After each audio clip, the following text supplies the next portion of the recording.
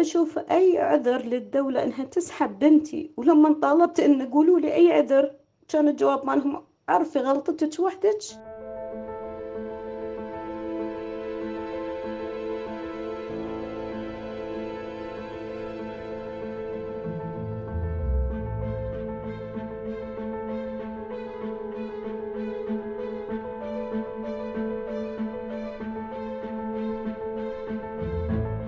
حاولت إني أحكي وياهم إن البنت بعدها طفلة ما يصير إني أزوجها بهالعمر.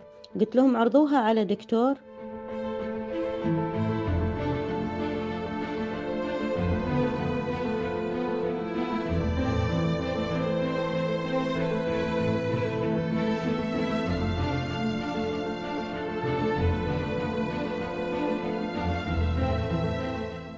وحكوا إن موجود عنف في البيت مع إن البنت سألوها بالتحقيقات أكثر من مرة. أمك تضربك دائما تقول لهم لا.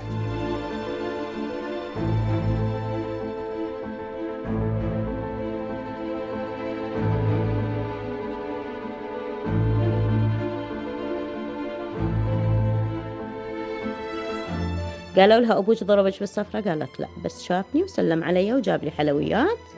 وكانت مدة اللقاء ما تتعدى نص ساعة وبوجود الكبار موجودين.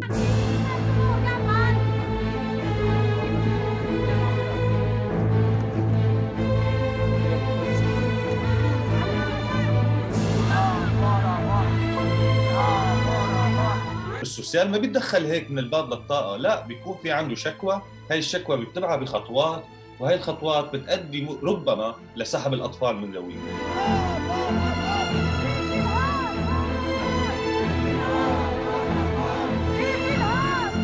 في هناك فشل بالاندماج أو بإيصال هذا اللاجئ لحتى يكون جزء من هذا المجتمع السويدي.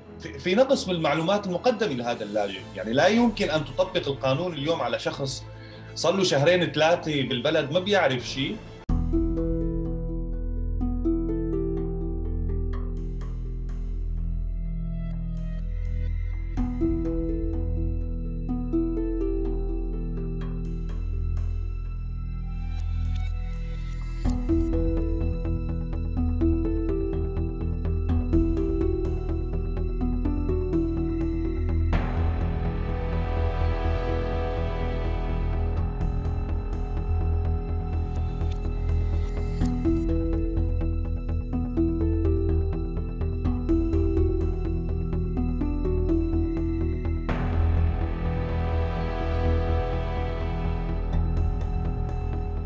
أتمنى أتمنى إني أرجع بنتي وإن شاء الله. إن شاء الله راح أبقى أطالب فيها لحد آخر نفس بحياتي.